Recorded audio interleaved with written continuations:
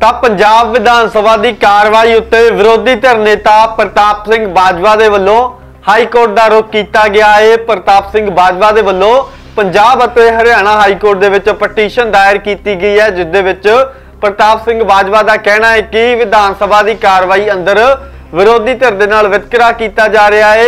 ਇੱਕ ਪਾਸੇ ਤਾਂ ਲਾਈਵ ਸੈਸ਼ਨ ਹੈ ਜਿਹੜਾ ਉਹ ਵਿਧਾਨ ਸਭਾ ਅੰਦਰ ਤੋਂ ਚਲਾਇਆ ਜਾ ਰਿਹਾ ਹੈ।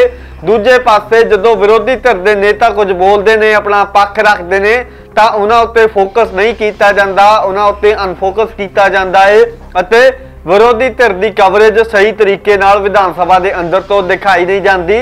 ਦੂਜੇ ਪਾਸੇ, ਆਮ ਆਦਮੀ ਪਾਰਟੀ ਦੇ ਲੀਡਰਾਂ, ਮੰਤਰੀਆਂ ਅਤੇ ਐਮਐਲਏਆਂ ਨੂੰ ਜ਼ੂਮ ਕਰਕੇ ਦਿਖਾਇਆ ਜਾਂਦਾ ਹੈ ਤਾਂ ਪ੍ਰਤਾਪ ਸਿੰਘ ਬਾਜਵਾ ਦੇ ਵੱਲੋਂ ਇਸ ਬਾਬਤ ਹਾਈ ਕੋਰਟ ਦੇ ਵਿੱਚ ਪਟੀਸ਼ਨ ਪਾਈ ਗਈ ਹੈ। ਤਾਂ ਇਸ ਮਸਲੇ ਨੂੰ ਲੈ ਕੇ ਲਗਾਤਾਰ ਵਿਰੋਧੀ ਪਾਰਟੀਆਂ ਨੇ ਜਿਹੜੀਆਂ ਉਹ ਵੀ ਸਵਾਲ ਚੁੱਕਦੀਆਂ ਨੇ, ਚਾਹੇ ਅਕਾਲੀ ਦਲ ਹੋਵੇ, ਚਾਹੇ ਕਾਂਗਰਸ ਹੋਵੇ ਜਾਂ ਫਿਰ ਬੀਜੇਪੀ ਹੋਵੇ, ਹਰ ਪਾਰਟੀ ਲੰਮੇ ਸਮੇਂ ਤੋਂ ਇਹੀ ਕਹਿੰਦੀ ਆ ਰਹੀ ਹੈ ਕਿ ਵਿਧਾਨ ਸਭਾ ਦੀ ਕਾਰਵਾਈ ਦੇ ਅੰਦਰ ਵਿਰੋਧੀ ਧਿਰ ਦੇ ਨਾਲ ਪੱਖਪਾਤ ਕੀਤਾ ਜਾ ਰਿਹਾ ਹੈ। ਲਾਈਵ ਸੈਸ਼ਨ ਦੇ ਦੌਰਾਨ ਉਹਨਾਂ ਦੀ ਸਹੀ ਤਰੀਕੇ ਨਾਲ ਕਵਰੇਜ ਨਹੀਂ ਕੀਤੀ ਜਾ ਰਹੀ, ਨਾ ਹੀ ਉਹਨਾਂ ਨੂੰ ਜ਼ੂਮ ਕਰਕੇ ਦਿਖਾਇਆ ਜਾਂਦਾ ਹੈ, ਨਾ ਹੀ ਉਹਨਾਂ ਦੇ ਉੱਤੇ ਫੋਕਸ ਕੀਤਾ ਜਾਂਦਾ ਹੈ। ਤਾਂ ਇਸੇ ਮਸਲੇ ਨੂੰ ਲੈ ਕੇ ਹੁਣ ਪ੍ਰਤਾਪ ਸਿੰਘ ਬਾਜਵਾ ਦੇ ਵੱਲੋਂ ਹਾਈ ਕੋਰਟ ਦਾ ਰੁਖ ਕੀਤਾ ਗਿਆ ਹੈ।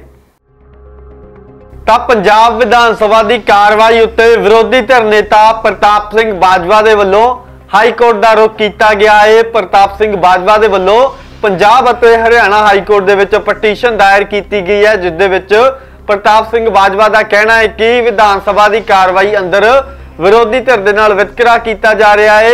ਇੱਕ ਪਾਸੇ ਤਾਂ ਲਾਈਵ ਸੈਸ਼ਨ ਹੈ ਜਿਹੜਾ ਉਹ ਵਿਧਾਨ ਸਭਾ ਅੰਦਰ ਤੋਂ ਚਲਾਇਆ ਜਾ ਰਿਹਾ ਹੈ।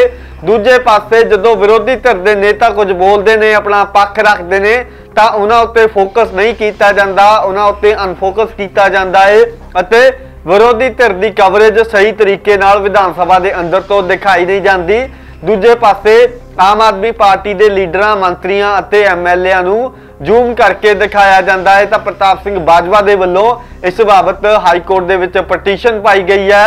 ਤਾਂ ਇਸ ਮਸਲੇ ਨੂੰ ਲੈ ਕੇ ਲਗਾਤਾਰ ਵਿਰੋਧੀ ਪਾਰਟੀਆਂ ਨੇ ਜਿਹੜੀਆਂ ਉਹ ਵੀ ਸਵਾਲ ਚੁੱਕਦੀਆਂ ਨੇ, ਚਾਹੇ ਅਕਾਲੀ ਦਲ ਹੋਵੇ, ਚਾਹੇ ਕਾਂਗਰਸ ਹੋਵੇ ਜਾਂ ਫਿਰ ਬੀਜੇਪੀ ਹੋਵੇ, ਹਰ ਪਾਰਟੀ ਲੰਮੇ ਸਮੇਂ ਤੋਂ ਇਹੀ ਕਹਿੰਦੀ ਆ ਰਹੀ ਹੈ ਕਿ ਵਿਧਾਨ ਸਭਾ ਦੀ ਕਾਰਵਾਈ ਦੇ ਅੰਦਰ ਵਿਰੋਧੀ ਧਿਰ ਦੇ ਨਾਲ ਪੱਖਪਾਤ ਕੀਤਾ ਜਾ ਰਿਹਾ ਹੈ। ਲਾਈਵ ਸੈਸ਼ਨ ਦੇ ਦੌਰਾਨ ਉਹਨਾਂ ਦੀ ਸਹੀ ਤਰੀਕੇ ਨਾਲ ਕਵਰੇਜ ਨਹੀਂ ਕੀਤੀ ਜਾ ਰਹੀ। ਨਾ ਹੀ ਉਹਨਾਂ ਨੂੰ ਜ਼ੂਮ ਕਰਕੇ ਦਿਖਾਇਆ ਜਾਂਦਾ ਹੈ, ਨਾ ਹੀ ਉਹਨਾਂ ਦੇ ਉੱਤੇ ਫੋਕਸ ਕੀਤਾ ਜਾਂਦਾ ਹੈ। ਤਾਂ ਇਸੇ ਮਸਲੇ ਨੂੰ ਲੈ ਕੇ ਹੁਣ ਪ੍ਰਤਾਪ ਸਿੰਘ ਬਾਜਵਾ ਦੇ ਵੱਲੋਂ ਹਾਈ ਕੋਰਟ ਦਾ ਰੁਖ ਕੀਤਾ ਗਿਆ ਹੈ।